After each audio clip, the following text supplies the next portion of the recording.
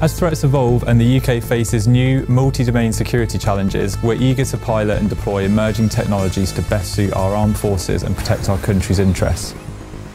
With our programme Talos, we're rapidly fielding new command and control solutions, working with Anduril to improve our base security capabilities using their groundbreaking AI-driven Lattice software and hardware suite. This is COTEC, a test range in Wiltshire, England, and this is where we're going to demonstrate to our UK MOD partners our counter-intrusion, counter-UAS and ghost systems. The goal today is to show an end-to-end kill chain demonstration where a hostile unmanned aircraft system enters the space monitored by Anduril technology and is effectively detected, tracked and neutralised.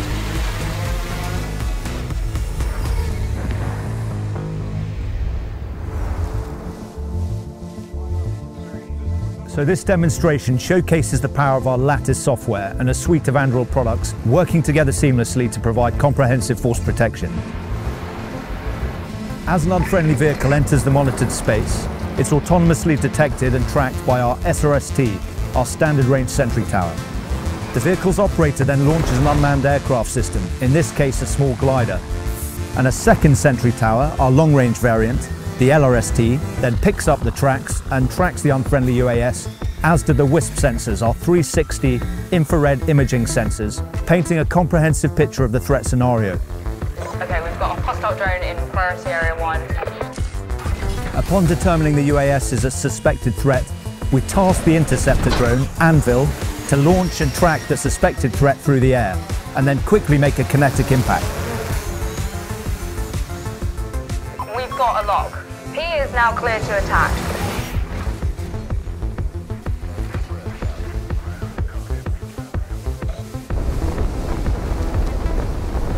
Simultaneously, the first sentry tower hands off the tracking of the human to another drone called the Ghost, and this frees up the sentry tower to continue searching the area for new threats.